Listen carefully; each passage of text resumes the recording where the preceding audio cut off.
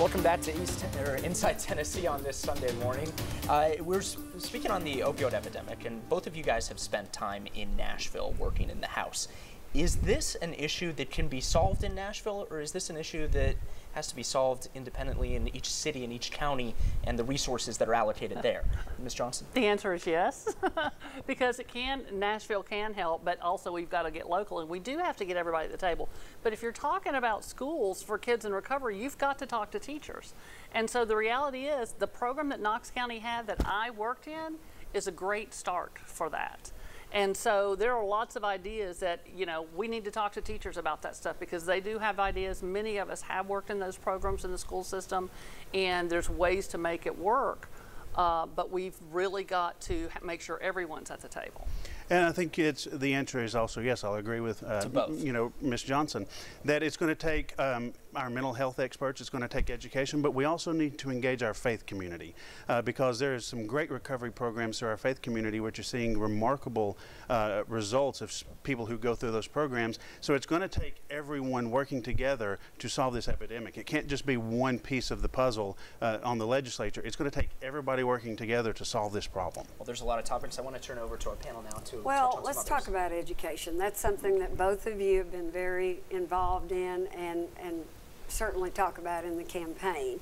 And I, the TN Ready uh, issues that we've had over the, over the past three or four years, I know is something that both of you have. Issues are a kind about. way to put that. Yeah, it is. Um, Eddie, I know at the end of the session you tried, you brought some legislation about to try to do some some uh, short-term cures, I guess, for it.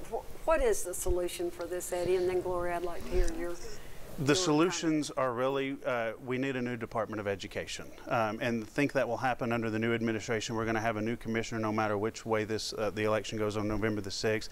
And really, what we've got to do, and what I've heard from educators is, you know, they want the data because that data really does help drive instruction in the classroom, but they need it to get back to them sooner, and it needs to be in, an, a, in a format that it helps uh, the children in the classroom. So one of the things that I've actually started talking about and that I'm looking at is splitting the TN Ready test up. First of all, the name needs to go away because it's not been it's ready. Not ready. We, have had three years of just mistake after mistake. But we need to look at doing an assessment where we get a midpoint and we get the end of year so that we're doing less testing all the way around that's less high stakes, but we're actually seeing where are the students struggling and where can it help drive instruction in the classroom uh, so that parents and teachers have that data to help their children at home. And I guess what I would say is the problem started when they took the teacher's seat away at, uh, at the table. And that's, they, they developed this testing and, and, and instituted this testing without talking to teachers. And so we know that this testing is used for multiple things, not just students' uh, outcomes. And I want to make sure that every test is going to benefit a student's instruction. And so the reality is we need to look at something. If you're going to, if you're going to monitor, if you're going to measure teachers by these tests, you've got to create tests that you that that's the measure. And so you create a pre-test, post-test to show how far each kid went each year. And so that's a fair judgment. But we're putting high stakes decision on a test that really um, was not developed by educators, it was de developed by testing companies.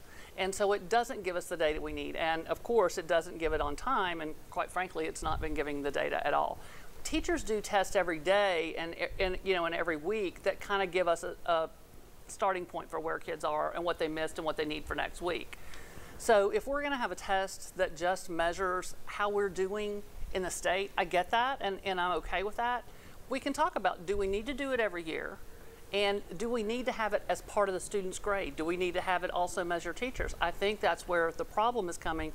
There's too much stress, too much pressure from that test and it, it doesn't have to look like it does now, and we need teachers at the table. Do you have a response to that? Well, and I think those are all valid points, and that's why what we did this year was we made sure that this year's test did not hurt students, it did not hurt teachers, but it also did not hurt the schools. Uh, now, we did see the uh, list that was released, uh, I think, last week or the week before from the Department of Ed, which shows the schools that are kind of on the, uh, the still the bottom 5%, but the reason that list had to be put out is so that we could continue to draw down the federal funds that are helping a lot of the programs in those schools. So we had to put the list out according to what our ESSA plan required uh, under the federal guidelines so that we can continue putting those federal funds where we need to help students and teachers. to be honest, the reality of it is we're here because you have been supporting those tests. You're backing off now because it's been a fiasco. But you have supported that test. Organizations like Tennesseans for Student Success that are uh, helping your campaign and that you're working with highly support the TN Ready. It's on their it's on their website. So, you know, let's look about who wanted to institute this without talking to teachers first. Well, that's a gross mischaracterization of what I've done the last few years because I've actually had a roundtable every single year where I've brought teachers from the district in, both tested and non-tested, to hear from them. I've taken a lot of those solutions that they've brought to the table and have brought bills to bring uh, down in Nashville. So to say I've been just uh, not listening to teachers is a gross mischaracterization of what's happened. Uh, and you know, so what we're seeing is, uh, based on all that feedback, is how can we use the test to make sure that at the end of the day we're helping students. I've got kids in K through 12 in Knox County, and I want to make sure that we're getting that data to help even my own children, just as I want every single parent in Knox County to have that data to help their kids. It's not a mischaracterization. I hate to interrupt this conversation, but we have to take a quick break. We'll be right back with more.